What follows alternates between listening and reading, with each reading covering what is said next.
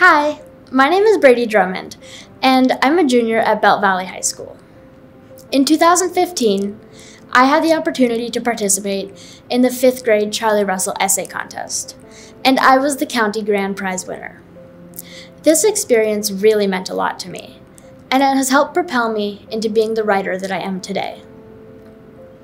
I believe Charlie is such an important figure in Montana's past.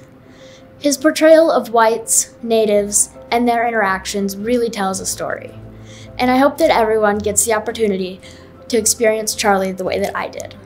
Why don't we go take a look at where Charlie would spend hours of his days creating?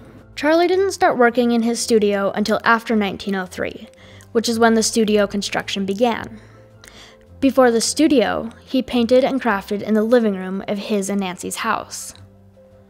The studio, built from telephone poles and modeled after the log cabin Charlie had lived in with his good friend Jake Hoover, was built just outside the house.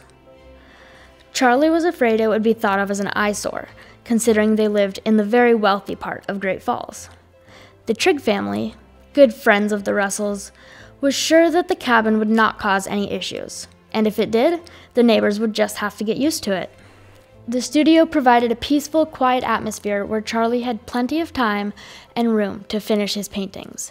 It was full of objects and mementos used to spark his creativity.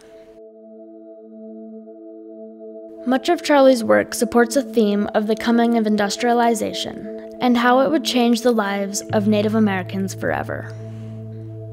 In this pen and ink drawing, a Native man is surrounded by signs of the industrialized world. There are fence posts, telephone poles, a smokestack, and a city in the background. In the sky, Native American hunters are chasing a herd of buffalo. The man is possibly dreaming of the way things used to be in a time when there were no fence posts partitioning the land, when buffalo were free to roam. The buffalo skull resting near him on the ground suggests he is thinking of the dying culture he once lived by. He barely notices the woman passing, who does not seem to understand him. This drawing shows the way that Russell empathized with the Native Americans. Russell was acutely aware of the contrast between white genteel American culture and Native American culture. Here, he illustrates the differences and similarities between women and their lifestyles and their roles as mothers in two distinct civilizations.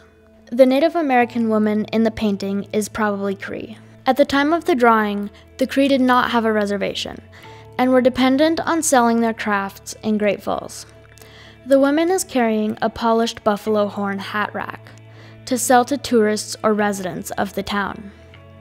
The Cree were known for traveling the plains, picking up buffalo casings, and making objects out of them for sale, such as buffalo horn chairs and hat racks. Charlie did commissioned work and advertisement illustrations along with his art. The Russells had to make a living in order to put food on the table. So Charlie had to work for others before he became a world famous artist with his own art. An old story and Lifesaver were completed as an advertisement for the Lifesaver Seat Lock Company of Minneapolis and Winnipeg. The seat lock or clamp, which fastened to the wagon box as a safety device, was designed and invented by Victor Haidloff. Charlie was a friend of Mr. Haidloff and volunteered to paint the watercolor to be used for advertising. An old story shows a team of horses hitched up to a runaway wagon as a horseless carriage comes up from the rear.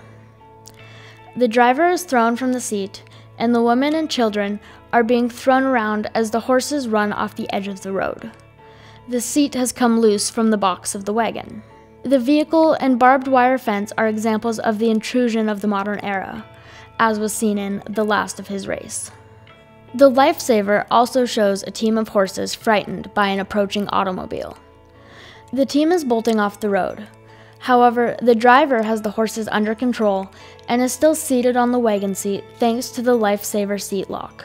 Both paintings used social commentary about the passing of the West and the technological changes being made, whether Charlie liked it or not. Friends of the Russells would often visit Charlie while he was working or when he needed a break.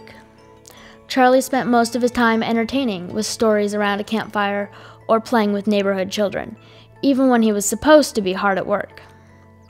Nancy also liked to entertain. She had many guests over for dinner. Why don't you head down to the home and take a look around at where the Russells live?